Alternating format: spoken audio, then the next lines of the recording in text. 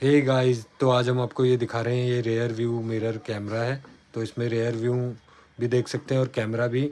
इस कैमरे की मदद से आप इसको कैमरे भी ऑपरेट कर सकते हैं। तो ये अपना इलेक्ट्रिक व्हीकल में आप यूज़ होता है।